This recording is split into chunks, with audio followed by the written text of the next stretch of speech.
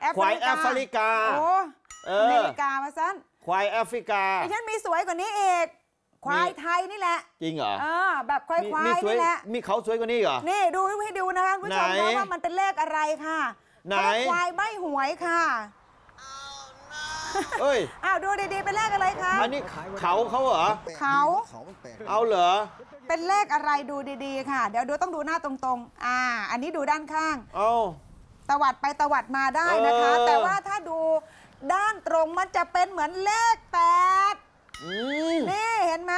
ครับโหถ้ามาเมื่อวานเนี่ยหมดเยอะนะเนี่ย เออ เออ ดีหมดนะเยอะมาดิวันนี้หมดไม่เยอะนะออฮะกอะไรก็ไม่รู้อะไรนะหกห้าอะไรอะ เพราะเพราะว่าเลขเออแปดดังมากเมื่อวานเลขแปดเลขเก้านะคะอ๋อเห็นว่าเห็นว่าอั้นว่างั้นนะครับเลขแปดเนี่ยอั้นเลยนะเอออันอันเออจะอู้จะอันน่ะเด็กกองสลากอั้นค่ะ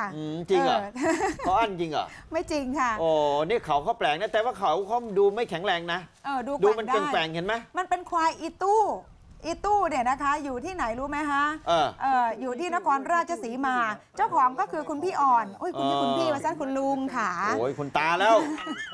คุณตาอ่อน พี่พ่อแล้วกันค่ะเออก็แกก็เลี้ยงอยู่อย่างเงี้ยนะคะ ใครจะมาขอซื้อขออะไรแกก็ไม่ขายแกรักเหมือนลูกเหมือนหลานว่างั้นนะคะอืมเออชาวบ้านผ่านไปผ่านมาก็ขอมาเซลฟี่ด้วย ขอมาถ่ายรูปด้วยแกก็ให้ถ่ายก็บอกว่าเออ มันเป็นเขาควายที่แปลกประหลาดแล้วก็น่ารักดีค่ะเออไม่ค่อยได้เห็นนะอ่าตั้งแต่มันขยับทำรายการได้ด้วยมาเพิ่งจะมีตัวที่สองนะที่ควายมันขยับที่ได้เออที่ออกรายการเราเนี่ยมีอ่าตัวที่สองเนี่ยที่เป็นเขาลักษณะนี้แล้วก็แกว่งอืมเขาแกว่งๆไม่รู้เจ็บหรือเปล่าเนาะเออคุณเออจะอยากรู้ทำไมอะคุณก็ไม่อยากรู้ว่าเขาควายปกติมันจะดูแน่นๆไงอ๋ออยากรู้ว่าเวลาเออมีเขาแล้วมันแกว่งแล้วจะเจ็บไหมเออ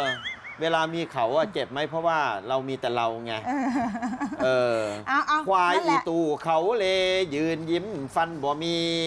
ทำไมฟันไม่มีอะ ก็ฟันมันอีตู้เขาเล